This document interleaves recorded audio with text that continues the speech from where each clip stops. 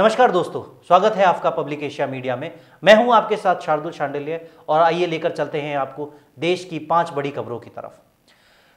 शुरुआत करते हैं पहली बड़ी खबर से। पीएम मोदी ने हिमाचल में भारी बारिश एवं बाढ़ और भूस्खलन के कारण आई आपदा पर उच्च स्तरीय बैठक की है। पीएम मोदी ने राज्य में राहत एवं बचाव कार्यों के लिए चलाए जा रहे अभियान की समीक्षा की।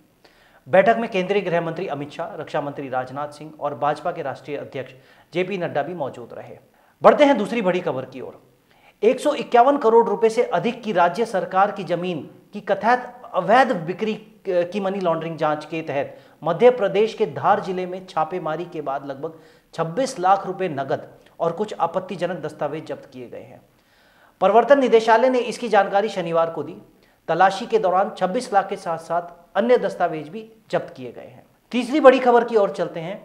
असम में धेमाजी कॉमर्स कॉलेज में अपने प्रिंसिपल को चार अन्य लोगों के साथ परिसर में शराब पीते हुए एक वीडियो वायरल हुआ था, जिसके बाद छात्रों ने शनिवार को विरोध प्रदर्शन किया। कॉलेज के प्रिंसिपल के खिलाफ कॉलेज छात्र संघ और आरएसएस से जुड़े छात्र संगठन एबीवीपी ने विरोध प्रदर्शन किया।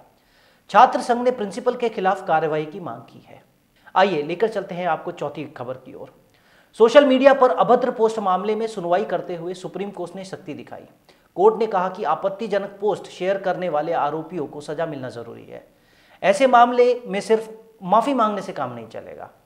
ऐसे लोग आपराधिक कार्रवाई से नहीं बच सकते। दरअसल सुप्रीम कोर्ट तमिलनाडु के पूर्व विधायक एस वी शेखर की याचिका पर सुनवाई कर रहा था और उसे खारिज कर दिया गया है। पांचवी और बड़ी खबर की ओर बढ़ते हैं। मणिपुर में अब हिंसा, नागा समुदाय के गढ़ उखरूल ज़िले तक जा पहुँची है। उखरूल में शुक्रवार तड़के गोलीबारी की घटना सामने आई। उखरूल ज़िले में कुकी के तीन ग्रामीणों को प्रताड़ित किया गया। गोली मार दी गई, जिससे 5 अगस्त को हुई आखिरी हिंसा की घटना के बाद से दो सप्ताह की शांति खत्म हो गई है। ऐसे ही बड़ी खबरों के लिए देखते रहिए पब्लिक एशिया। धन्यवाद।